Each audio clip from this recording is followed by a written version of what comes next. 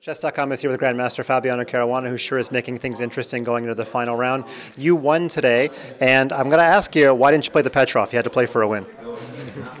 well, I, I, figured that Yaro would um, play a very safe line if I played the Petrov or anything like that, so I decided to take some risks uh, with the opening. And he surprised me pleasantly by playing a very innocuous line, where we get a very interesting fight. Um, and okay, it just it went very smoothly. Why did you think he would play uh, something not so exciting against the Petrov? Is it because you're much higher rated, or because of his tournament standing? He's not having a great tournament and just wants to kind of get home or something. Uh, well, in general, he plays very safely. Um, I mean, if you look at his games, generally speaking, he plays very solid positional lines, and I didn't think that I would get uh, many chances if I played something like the Petrov or some sort of Spanish. In the middle game, were you surprised how weak his dark squares were, considering he still had his dark squared bishop? Well, everything went very badly for him after he played knight f4. Um, I don't know if the position was already bad. I mean, I thought I was slightly better. But after knight f4, g5, it just uh, two free tempi, and if he plays knight d5, he just destroys his position. Um, so after g5, I was already pretty sure I would win.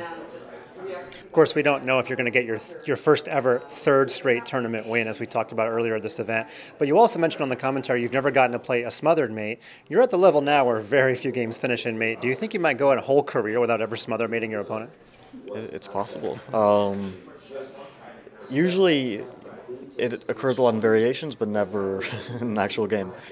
But I was still very happy to actually have it in a variation because it's such a nice one. It comes out of the blue.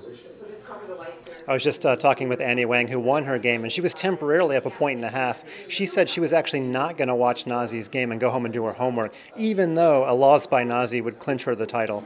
Are you going to watch the end of Sam's game as we sit here talking right now? I mean, I already assume it's going. He's going to win. Um, I thought maybe there were some drawing chances, but it looks like he already lost his A pawn or is going to lose it. So, yeah, I assume he's going to win, and that sort of puts me in a must-win situation tomorrow. We don't often ask players in the Open Championship to talk about the U.S. Women's Championship, but Annie Wang is becoming quite a story. Have you watched any of her games at all? Of course, you might end up traveling with her to Batumi in September. Yeah, I, I, I mean, I watched the games in the women's event, and I, her conversion skills are very impressive, and she fights very well. And when she gets an advantage, she doesn't really let it go, which is already a huge skill. Um, and she's fought back from like really some really bad positions, so clearly some very strong player. Probably going to get much stronger in the future. And finally, you've been hanging out with Yasser a lot. Has he finally learned how to say your last name right? For, for the record, how many R's are in your last name? Just one. Um, the, well, I, I, I mean, I think he's gotten better. as long as he passes the knights and pawns in Bughouse, everything's cool. Yeah, well, although we don't play as a team too often. Usually, I play against him. Usually, I'm uh, playing like him and Eric or him and Alejandro, but usually I play on the opposite team. Although he's a very good player, so I wouldn't mind playing on his team as well. In your cadre of players, who do you play the best with as a partner?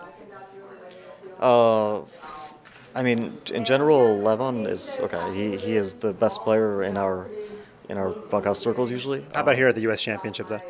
Robert Hess, I've coordinated very well with. He tends to uh, to listen to me, which a lot of people don't do, and um, and he's very caring as a partner. Uh, and that's a bit, that's an important skill in Bughouse and in other things, but also in Bughouse. Very nice. So I'm glad you're doing well as an individual and in the team event in the Bughouse. So uh, round 11 is going to matter. It's going to come down to you and Sam. We don't know who's going to be leading going to the last round, but you might still be trailing by half point. We'll see. In any case, good luck to you, and we'll talk tomorrow. Thanks.